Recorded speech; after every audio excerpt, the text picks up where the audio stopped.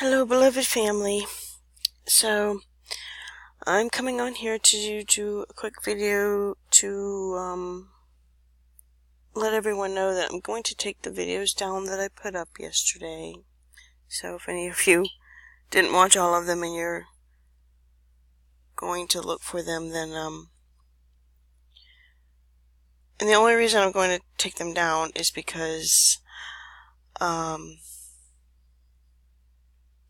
there were some things, some comments made about Jonathan Cahn that I was unaware of in regards to him. And so I don't want to uh, recommend people listen to him if there's anything that we need to use discernment uh, against. So, um,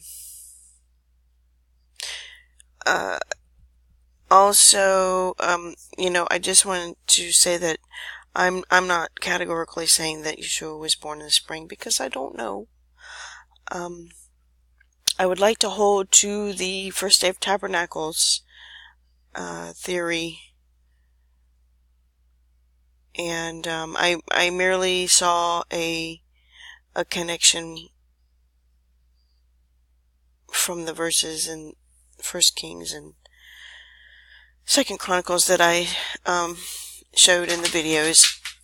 So, um, just citing it as a possibility. Um, but it doesn't mean that he was born in the spring. I would like to think that he was born, like I said, on the first day of Tabernacles.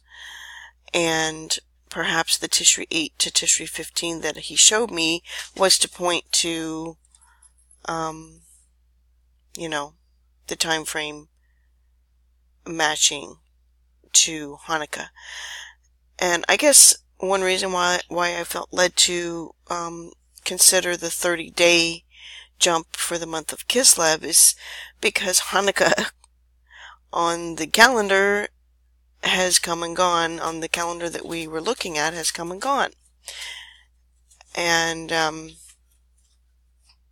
so I figured, well, maybe there's something else we need to look at. And my my hope is when I put videos up, especially now, is to encourage. That's my main to encourage. And if by chance someone learned something new from the word, that's my only main focus, um, not to set dates for the rapture. And the only reason I cover them is because um, here lately, the, the you know the Feast of Tabernacles and then Hanukkah, they're they're on a calendar, so they have to do with dates. So that's why I have been pointing to dates. Um, but like I said, my main goal is to keep the body of Christ encouraged, to keep her looking forward, to keep her her lamp lit, which I know is, you know, is not just based on encouragement, it's based on your faith. But sometimes people can start to lose faith if they lose encouragement.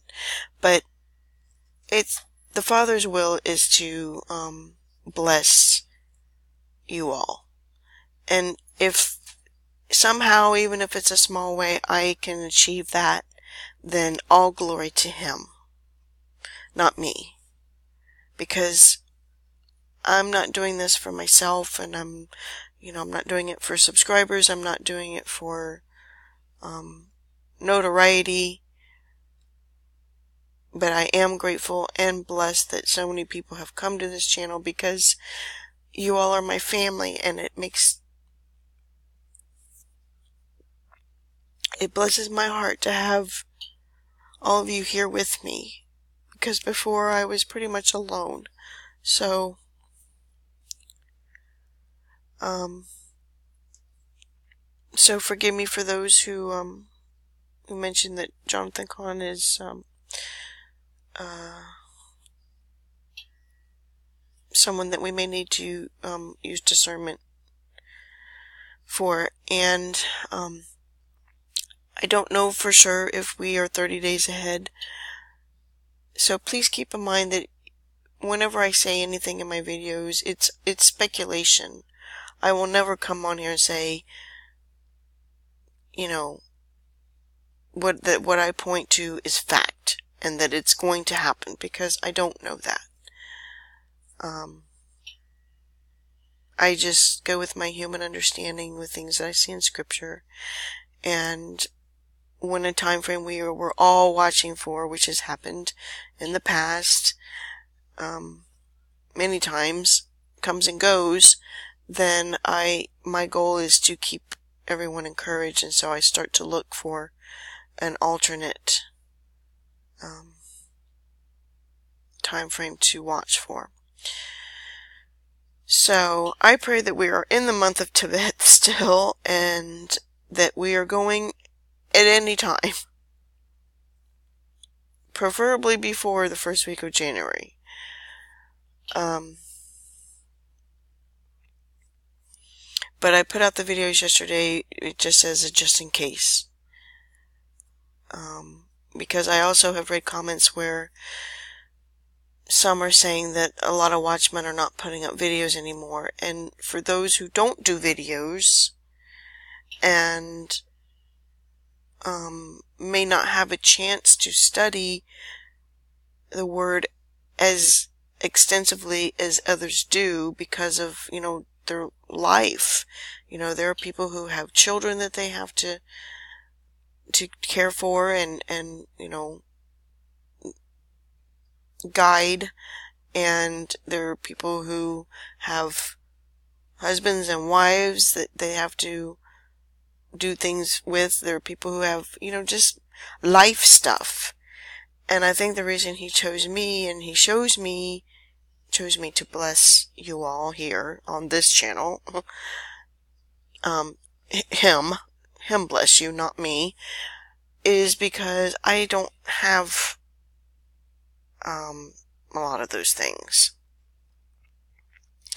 So, I have more time to study.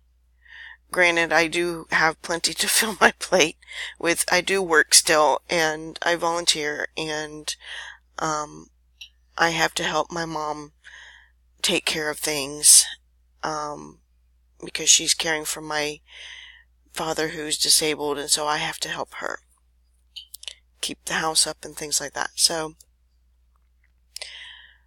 Um, it's not like I have loads of free time, but I probably have more than some, if not most. So anyway, um, like I said, my goal is to, to keep everyone encouraged. And, um, I pray that we don't have to wait till January, that we're going very, very soon. Because, honestly, um, he, we might only be waiting on no no prophecy or anything like that, but we might only be waiting on that one last soul that he knows is going to turn to him before the appointed time happens. And there is an appointed time. So, um, we could go, uh, you know, like he says, on a day we think not. Um, but he wants us to watch the feast because it, it keeps us in the ready. And um, I've been watching, looking at, at time frames, dates on the calendar for a long time without putting them in videos because every single one of the feast days are um, a possible time of departure. If you study them extensively, every single one of them points to a possible rapture time frame just because of the history behind them, the content that's within them, and things like that. So, and and I think he did that on purpose so that we would we would keep watching and keep going forward because if we didn't have um you know these time frames to look forward to when they are approaching in our humanness we would you know um many possibly would just give up because you know what would we have to look forward to if he didn't give us all the meanings behind the feasts and how they point to certain things. So, Anyway, guys, um, I'm going to take those videos down because, um, be just because of Jonathan Cahn being in there and, and just in case there's anything we shouldn't listen to from him, then I don't want it to be up there and, and people go looking in places that they need not. And always please use discernment with anything I say or any other watchman. Um, right now, you know, the deception is high out there, so it's, it's difficult to, uh, know for sure unless you do pray about it and use discernment.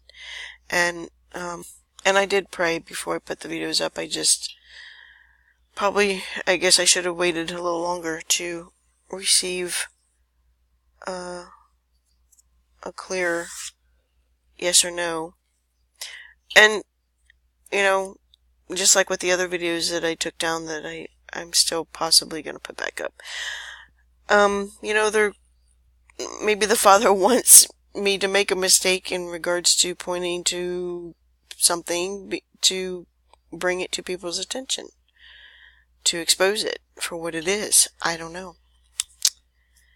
So, um, so yeah, so that's why I'm going to take those down. Um, for people who would like to, I, I, tried to leave a link for the video that I mentioned. Um, our, our, brother Chris in Canada, who's a Bible code researcher, his I tried to grab the link, and I don't know if it's because I don't have updates on my laptop, but um, whenever I try to grab a link to post it somewhere, anywhere, it, YouTube won't let me do it.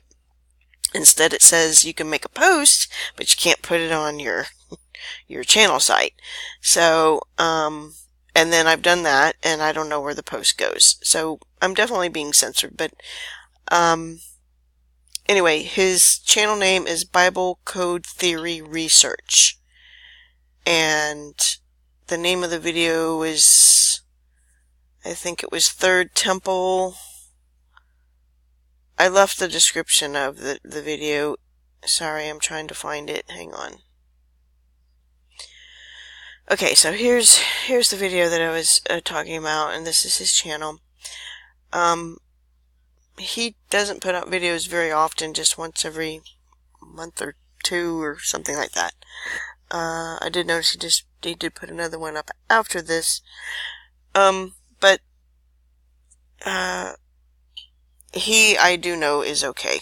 I've been watching him for a long time, so he's okay.